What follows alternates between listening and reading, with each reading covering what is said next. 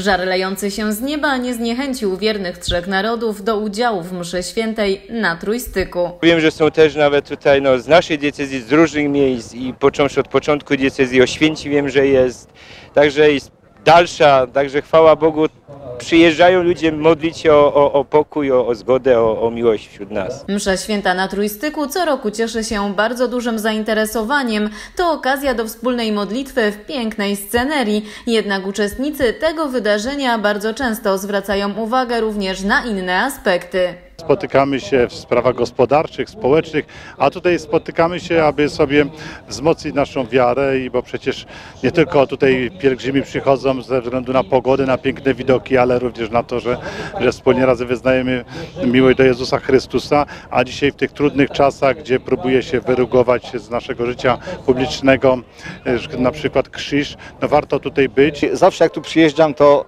tak sobie myślę, jaka powinna być Europa?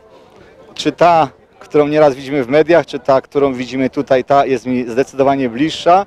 I to, że księża mówią po czesku, po słowacku, po polsku, my bez tłumacza rozumiemy i właściwie reagujemy, to świadczy, że jesteśmy w Europie. Jedną z intencji modlitewnych był rozwój infrastruktury turystycznej w gminie Istebna. Dlatego też zapytaliśmy wójt gminy Łucję Michałek o plany związane z trójstykiem. Przymierzamy się do y, oprojektowania, następnie do realizacji mostu Kładki na Trójstyku. E, tutaj z inicjatywą wyszedł pan starosta Paweł Gomola, przedstawił nam bardzo ładny projekt i myślę, że w przyszłym roku będzie szansa, jeżeli uda nam się wszystkie formalności pod względem e, budowlanym, budowy tej kładki załatwić, to być może będzie w przyszłym roku zrealizowana ta inwestycja.